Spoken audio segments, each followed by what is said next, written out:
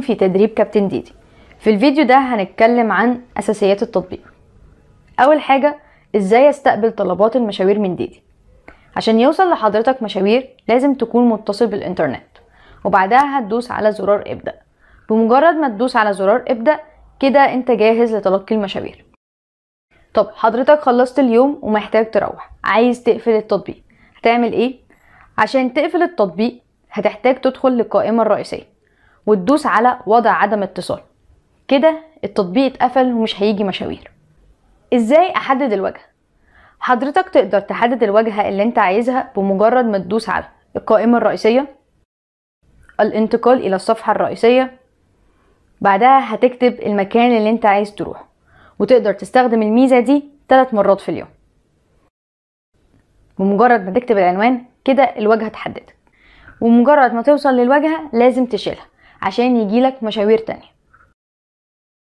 إمتى تقوم بإجراء اختبار ذاتي؟ لما حضرتك تلاقي إنك مش بيجيلك مشاوير ومش عارف إيه السبب تقدر تعمل اختبار ذاتي عن طريق تدوس على زرار القائمة. اختبار تلقي الطلبات. هتعمل مسح سريع وهتقولك إيه المشكلة اللي مخلية مفيش مشاوير بتجيلك وبالتالي هتقدر تعالج المشكلة دي وتتلقى مشاوير عادي. تالت حاجة إزاي أقبل الرحلة وأكملها؟ الرحلة بتجيلك بيكون قدامك 12 ثانية عشان تقبلها. بمجرد ما تقبلها هتضغط على التنقل عشان تفعل الخريطة. وبعد ما توصل لمكان العميل هتسحب شريط وصلت لموقع الراكب من اليمين للشمال. تقدر طبعا تتصل بالعميل أو تبعت له رسالة. بمجرد ما تدوس على رمز السماعة والرسالة. بعد ما يركب العميل هتسحب الشريط من اليمين للشمال عشان تبدأ الرحلة. بعد ما توصل للواجهة هتسحب الشريط من اليمين للشمال لإنهاء الرحلة وبعدها تقدر تقيم العميل. إزاي أقدر ألغي الرحلة؟ حضرتك بعد ما قبلت الرحلة ووصلت للعميل فالعميل مثلا اتأخر أكتر من خمس دقايق فاحتجت إنك تلغي الرحلة. هتدوس على التلات شرط دول وتختار. الغاء الرحلة. وهتختار السبب اللي عايز عشانه تلغي الرحلة. وبعدين تأكيد.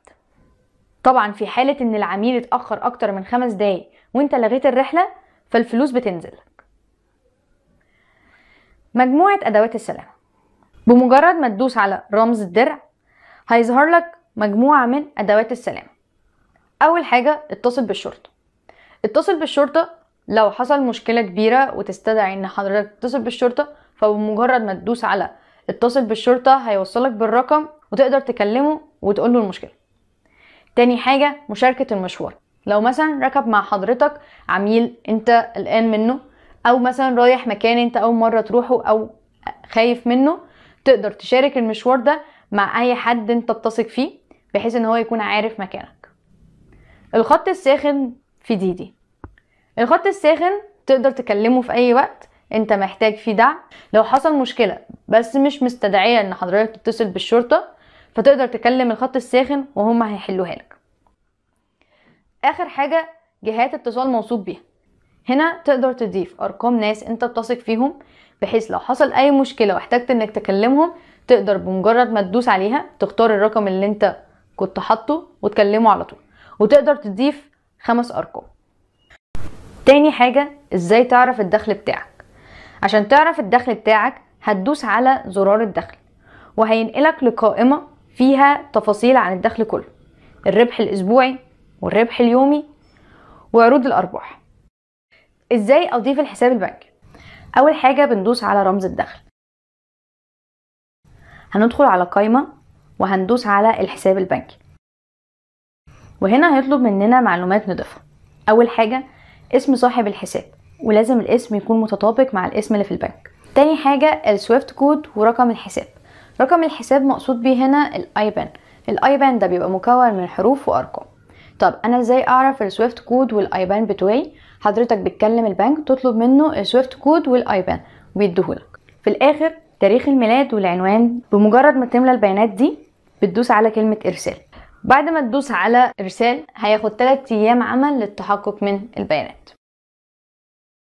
هل دي دي تقدر تسحب فلوس من الحساب؟ طبعا لا. هيبقى عبارة عن كل يوم تلات من الأسبوع هينزل لحضرتك الدخل بتاعك. إزاي أقدر أتواصل مع الدعم؟ تقدر تتواصل مع الدعم من خلال تدخل على ملف الصورة الشخصية مركز المساعدة وهتحدد الرحلة اللي عايز تستفسر عنها. وتحدد الموضوع اللي هتستفسر عنه. ولو المشكلة لسه ما اتحلتش هتدوس على لم يتم حل المشكلة. وهتكتب المشكلة بالتفصيل وتبعتها. وفي خلال 24 ساعة هيكون الرد وصلك. وتقدر كمان تتأكد من الرد لو دخلت على مركز الخدمة. شكرا لكونك كابتن ديدي.